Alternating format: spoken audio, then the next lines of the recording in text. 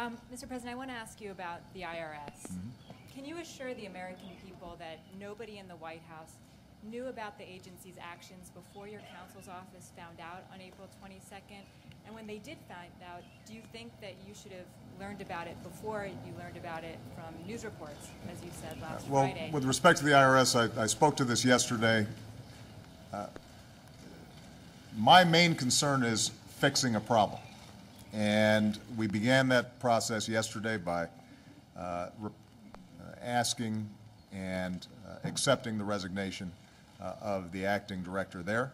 Uh, We will be uh, putting in new leadership that will be able to make sure that following up on the IG audit, that we gather up all the facts, that we hold accountable those who have taken these outrageous actions. As I said last night, uh, it is just simply unacceptable for there to even be a hint of partisanship or uh, ideology when it comes to the application of our tax laws.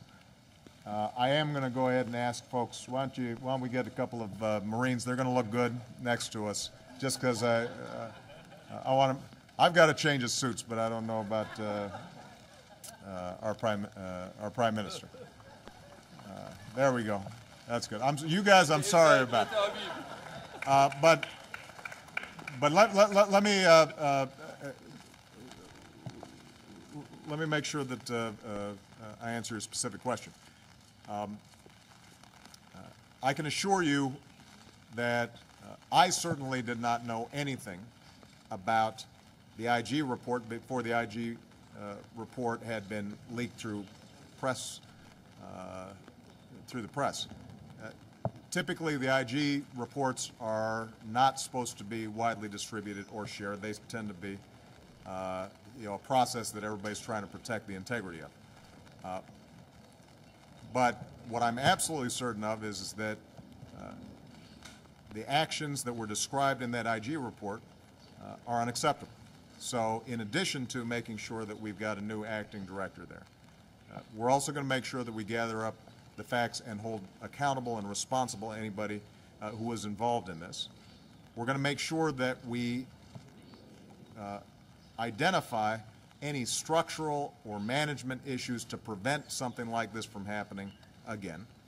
Uh, We're going to make sure that we are accepting all of the recommendations that the IG has in the report, and I'm looking forward to working with Congress uh, to fully investigate what happened, make sure that it doesn't happen again, uh, and also uh, uh, look at some of the laws that uh, create a bunch of ambiguity in which the IRS may uh, not have enough guidance and not be clear about what exactly they need to be doing and doing it right so that the American people have confidence that, that the tax laws are being applied fairly and evenly.